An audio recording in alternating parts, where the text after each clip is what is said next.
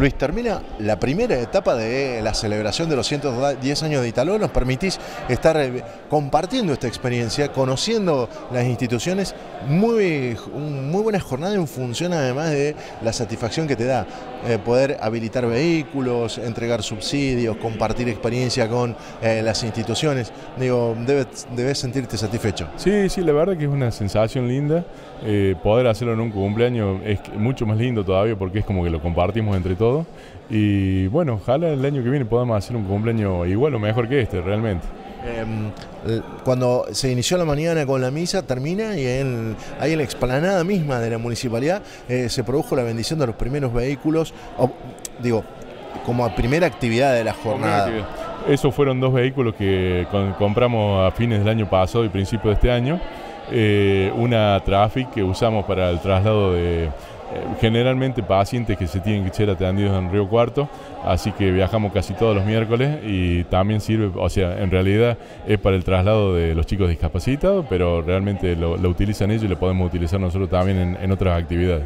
Y el otro fue un vehículo que compramos con, fondos propios de la municipalidad, para que lo utilizamos para todo, o sea, para hacer un, traslado de urgencia, para ayudar a, alguien que se tenga que trasladar cerca, eh, pero múltiples usos. Así que para traer los profesionales que vienen de otros lados a trabajar acá, así que se usa muchísimo. Cuando nos contabas, eh, te encontramos en distintas localidades que iba a ser una celebración con importantes inauguraciones. Después vimos que pasaste por el jardín maternal, después fuimos al centro de salud. Digo, en cada lugar hubo una intervención importante. Sí, sí, sí. O sea, logramos, eh, bueno, reinauguramos la guardería municipal porque gracias a unos fondos que nos mandó la Nación pudimos entrar en, un programa eh, de, de y bueno, nos dieron todas las indicaciones de cómo tenemos que hacer el, la guardería.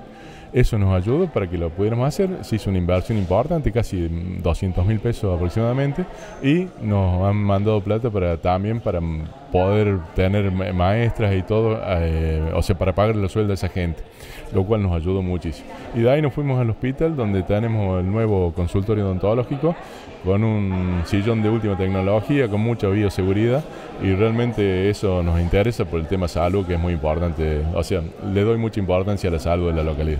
Lo estuvimos visitando y recorriendo las dependencias del centro de salud y realmente eh, se está acondicionando porque están eh, buscando una calificación que les permita tener una prestación de servicio mucho más amplia. Exacto, queremos volver a ser hospital, lo fuimos en una época, eh, pero bueno, cada vez son más las exigencias para lograr eso lo cual no bajaremos las manos porque sabemos que la, diferencia de aporte de la provincia a un centro de atención primaria como el nuestro y a un hospital son distintas y bueno, queremos llegar a, lograr eso.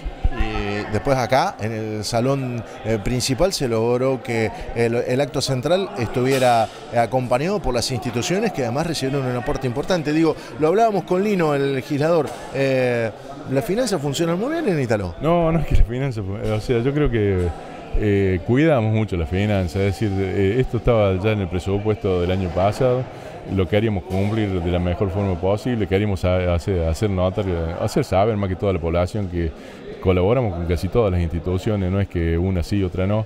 Eh, algunos ligan más que otros, es cierto, o sea, me estaba, recién estaba hablando con un canal de amigos y nos hablaba de la preferencia con el club. No, no es que tengamos preferencia con el club, sino que es una, es una eh, es un lugar donde se contiene mucho a, los chicos de, nuestra localidad. Realmente sacarlos de la casa, sacarlos de la computadora para que hagan deporte, para que hagan vida sana, eh, eso no tiene precio realmente. Eh, además, la inversión en todo lo que tiene que ver deporte trae aparejado resultados. Sí, no, no, por supuesto, o sea, pero más que todo en ganar vida sana y ganar años de vida buena. Eh, no me gusta, te, digo sinceramente, yo cuando veo a los chicos con el celular en la mano, que todo el día con el, la, cabecita doblada o arriba de un... Eh, adelante de una computadora, no, es como que decir, no, estos chicos tienen que estar jugando como lo hacíamos nosotros en nuestra época, que no existía nada de eso. Eh, y después el resto de las instituciones, reconocimientos, directora de colegio que se jubila, pero además eh, los aportes fueron eh, de alguna manera equitativos y en función de dar respuesta a necesidades, a planteos, hasta una computadora. Sí, sí, o sea, fue más o menos lo que nos pidió cada, cada institución. Incluso hay instituciones que no le hemos dado ningún aporte porque trabajamos completamente de otra manera, es decir, cuando tienen una necesidad que la podamos solucionar o la solucionamos juntos o directamente vienen y, nos piden que le hagamos la solución, que le demos la solución. Suponte eh, lo que decía en el discurso cuando, cuando me acordaba, eh, solamente en la escuela primaria, para pintar toda la primaria, para arreglar las puertas, arreglar las aulas y todo lo demás, eh, se, llevó más de 120 mil pesos de, de, aportes municipales. Que por supuesto son aportes que vienen de la provincia, no es que lo o sea, lo, importante no es desviarlo, pero con esas instituciones se trabaja de otra forma. No, no hace falta que le demos subsidio porque no tienen una necesidad urgente en este momento. Eh, y además vemos recorriendo las calles de la localidad que empezaste con, la, obra del adoquinado que es importante y transformado. No, no, sí, queda muy linda y veo que realmente vamos avanzando. Ya estamos terminando la tercera cuadra, o sea, empezamos el año pasado. Eh, sale caro realmente, o sea, lo que pasa, pero de cualquier manera no se puede avanzar mucho porque también tenemos la obra del agua potable.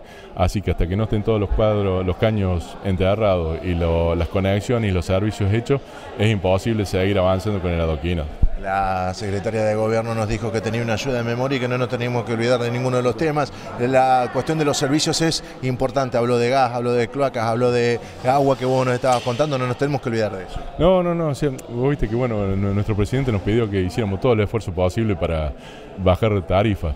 Eh, nosotros optamos por sin, sin, cobrar el agua, o sea, se la estamos dando a toda la gente que está que vive en Italo, desde la calle Belgrano hacia el norte tienen el agua potable pasa por todas las casas. Eh, en algunos puede estar faltando el servicio y en otros puede estar faltando conectarse, pero los que la tienen y la usan, eh, hemos optado por no cobrar la obra y para y no cobrar el servicio por ahora hasta que podamos acomodar un poco la situación económica y que bueno que se encarguen de, pagar las otras los otros servicios que son creo que más caros no sé si más necesarios pero que hoy por hoy están carísimos eh, no solamente acá sino que creo en toda la provincia